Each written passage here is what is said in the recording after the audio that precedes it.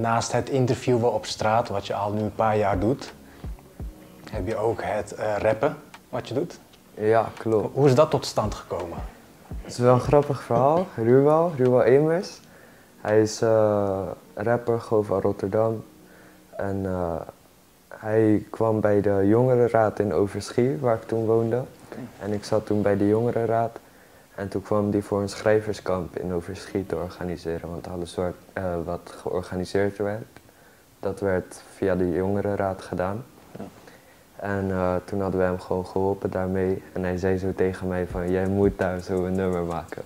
Ik zeg zo, nee man, ik kan niet rappen, niks, eh, niet zingen. Gaat hem niet worden. Eindstand, hij heeft mij gewoon gedwongen. hij zegt zo van, ik ga je gewoon helpen met schrijven en alles. En ik begeleid je gewoon helemaal. Heeft dan daar mijn eerste nummers opgenomen, hoe het is geweest en veel gezien. Daarbij had hij mij geholpen met schrijven en opnemen, alles. En vanuit daar gewoon ook weer contact gehouden.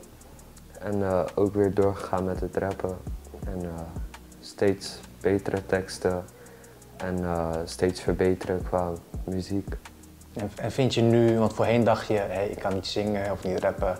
Vind je nu dat je echt rapper bent? Of voel je je ook zo? Een beetje. Nog niet helemaal waar ik wil zijn. Maar het komt wel steeds meer omhoog. Hoe is het om op zo'n podium te staan voor al die mensen en te rappen? Interview is wat anders natuurlijk.